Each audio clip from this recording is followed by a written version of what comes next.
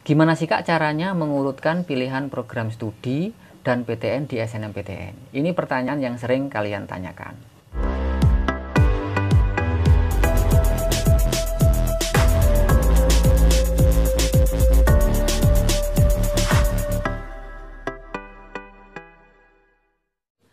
Sebelumnya, yuk subscribe channel ini, jangan lupa tekan tombol loncengnya saya juga berbagi informasi setiap hari lewat Instagram menuju PTN, silahkan di follow.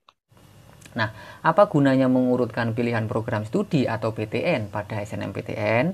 Satu, misal jika kita gagal di pilihan pertama, kita masih punya kans atau harapan lolos di pilihan kedua.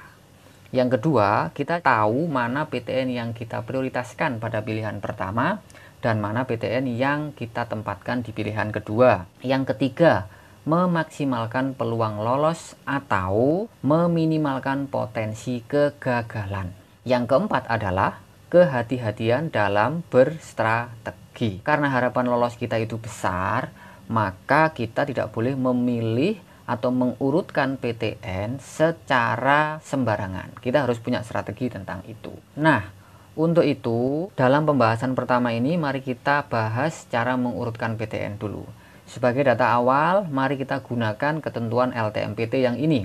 Ini ada dalam bagian SNMPTN 2020 yang kemungkinan 2021 tidak akan berubah karena sudah disebutkan pada saat sosialisasi daring baik pertama, kedua maupun ketiga oleh LTMPT. Ayat A, jumlah pilihan PTN dan program studi siswa pendaftar dapat memilih paling banyak dua program studi dalam satu PTN atau dua PTN. Tentu LTMPT dalam hal ini tidak sembarangan membuat kalimat atau redaksi. Di situ yang ditekankan pertama adalah satu PTN dulu seolah-olah menyiratkan atau memberikan pesan implisit kepada kita, halo para pejuang SNMPTN, cobalah kalian memilih dulu satu PTN dan dua prodi. Kalau kemudian memang tidak bisa, barulah dua PTN, dua prodi. Kemudian pernyataan itu diperkuat dengan ayat B. Urutan pilihan PTN dan program studi menyatakan prioritas pilihan. Artinya, yang kalian letakkan pada pilihan pertama itu akan menjadi prioritas bagi LTMPT untuk diseleksi terlebih dahulu. Nah, nanti saya akan sajikan sebuah data atau ilustrasi mengapa kita lebih baik memilih satu PTN saja. Sekalipun memilih dua PTN itu diperbolehkan. Tapi sebelum itu, berdasarkan data dan pengalaman kami, coba PTN-PTN yang akan saya sebut ini semaksimal mungkin untuk tidak meletakkannya di pilihan kedua. Pertama, ITB. Kemudian yang kedua adalah UI, Universitas Indonesia. Yang ketiga adalah ITS. Yang keempat adalah UNER, yang kelima adalah UGM, dan yang ke berikutnya atau keenam adalah Universitas Brawijaya. Misalkan Pilihan yang saya anggap terlalu berisiko adalah ITB pilihan 1, UI pilihan 2. Atau kalian balik, UI pilihan 1, ITB pilihan 2. Itu juga pilihan yang beresiko. Daripada ITB 1, UI 2 atau UI 1, ITB 2, mendingan UI UI atau ITB ITB ITS ITS, UNER UNER, UB UB atau UGM UGM. Nah, yang perlu kalian waspadai juga ini sebaiknya Unpad, Undip, UNS, Unhas, USU dan IPB. Hati-hati betul untuk meletakkannya di pilihan kedua juga. Karena bisa jadi kalau kalian itu memilih jurusan yang sama-sama ketat, itu berbahaya. Contoh begini, pilihan satu UGM Manajemen, pilihan kedua Unpad Manajemen. Manajemen itu adalah jurusan yang sangat ketat. Karena itu, kalau kalian menempatkan UGM sama Unpad di pilihan satu dan di pilihan dua, ini cukup riskan. Sampai di sini teman-teman semua, apakah sudah mendapatkan logika yang utuh? Atau belum. Kalau belum, kita lanjutkan pada ketentuan LTMPT yang berikut. Ini ada juga pada bagian SNMPTN yaitu tahapan seleksi. Seleksi dilakukan dengan tahapan sebagai berikut. A. Siswa pendaftar diseleksi di PTN pilihan pertama berdasarkan urutan pilihan program studi. Artinya, kalian akan diseleksi pada babak pertama di PTN pilihan pertama kalian di prodi pilihan pertama itu. Kita kuatkan dengan poin B. Siswa pendaftar yang memilih program studi di dua PTN di dua PTN jika tidak lulus di PTN pilihan pertama, siswa pendaftar akan diikutkan seleksi di PTN pilihan kedua. Nah ini yang nggak enaknya berdasarkan ketersediaan daya tampung. Sekarang saya akan kasih ilustrasi apa bedanya kalau dua prodi dalam satu PTN dengan dua prodi dalam dua PTN. Kalau misalkan kalian itu memilih satu PTN dan dua prodi, maka sistemnya akan berlaku yang kalau saya bahasakan adalah first in first out. Maksudnya gimana? Ini adalah prodi yang pertama yang kalian pilih, ini prodi kedua yang kalian pilih. Nah, kalau satu PTN, saya sebut first in. Anda akan diadu dengan peserta lain pada prodi yang pertama. Nah, kalau kemudian kalian ternyata tidak lolos, tidak memenuhi kualifikasi pada prodi pilihan pertama, langsung first out dan in ke prodi yang kedua tanpa jeda. Jadi langsung. Beberapa live IG di mana saya mengundang kakak-kakak kalian yang sudah lolos SNMPTN, kakak kalian yang kita ajak live IG yang lolos UNER itu menceritakan bahwa temannya ada tiga dari sekitar 60-an itu lolos pilihan kedua. Setelah kita tanya, kita telisik, ternyata pilihan pertama dia juga UNER. Begitu pula dengan e, teman yang lolos pilihan kedua di UB. Ternyata pilihan pertamanya juga UB. Nah, kalau dua PTN itu begini, PTN yang kalian taruh di pilihan kedua itu kan juga ada yang menaruh di pilihan satu kan.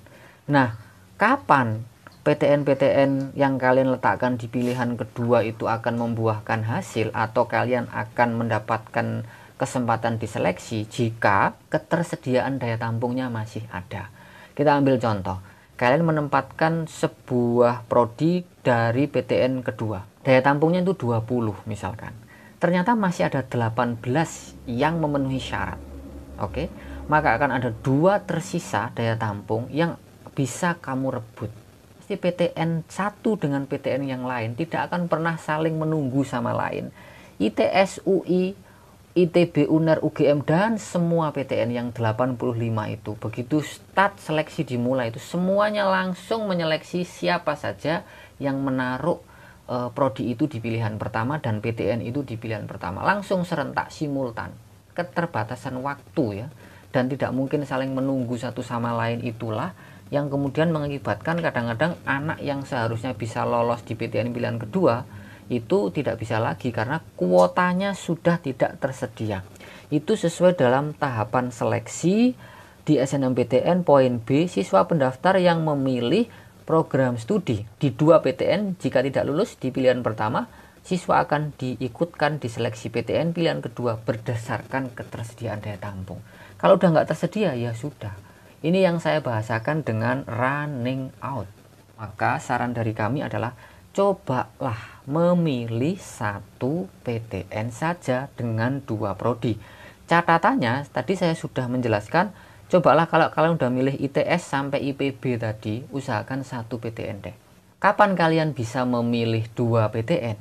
Misalkan kalau ITB, ya UIN SGD, itu masih oke. Okay. Pilihan satu ITB, pilihan dua Unsika, mungkin masih oke. Okay.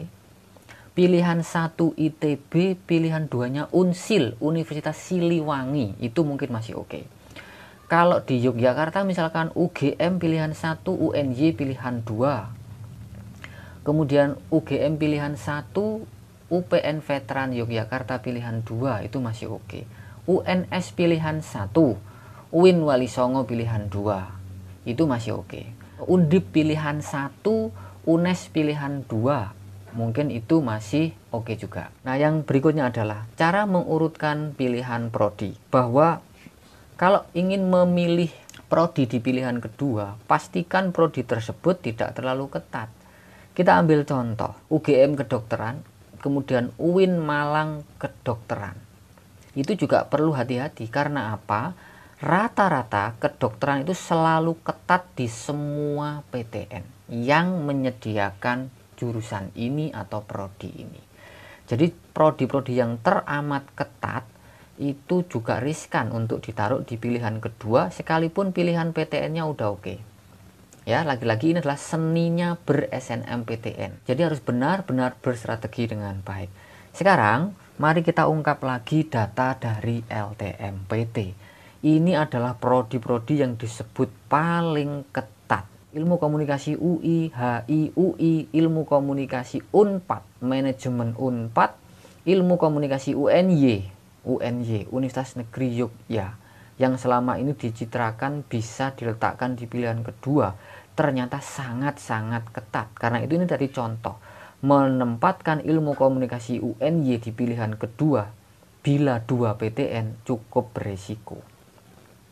Ilmu komunikasi UGM Bahkan UGM pun masih di bawah UNY dari segi keketatan. So, silakan berhati-hati. Yang mengejutkan adalah bahasa dan kebudayaan Korea. Mungkin karena ini demam K-pop sehingga tiba-tiba saja bahasa dan kebudayaan Korea UI menjadi banjir peminat. Psikologi UNY, ingat lagi-lagi Universitas Negeri Yogyakarta ini mungkin juga berlaku pada psikologi-psikologi di universitas negeri yang lain. HI UGM dan manajemen UGM. Itu yang soshum. Bagaimana yang saintek? Ini mungkin juga termasuk kejutan. Teknik informatika UNPAD. Kedokteran gigi UNDIP. Maka menempatkan UNDIP pada pilihan kedua misalkan kedokteran gigi menurut kami cukup beresiko. Saya tidak melarang, tapi berisiko. Pahami kata-kata saya, jangan disalah artikan. Kedokteran UGM, pendidikan dokter UI, teknik biomedis UGM, arsitektur UI, kemudian farmasi UI, arsitektur UGM. Maka jurusan-jurusan arsitektur juga merupakan jurusan-jurusan yang sangat ketat dan riskan ditaruh pilihan kedua. Apabila ada hal-hal yang belum jelas, silakan langsung berdiskusi di kolom komentar. Demikian video kita kali ini, semoga ada guna dan manfaatnya. Kita akan ketemu lagi di episode berikutnya. Ingat sobat semuanya, selamat mendaftar SNMPTN. Tetap semangat, tetap belajar, dan create your future.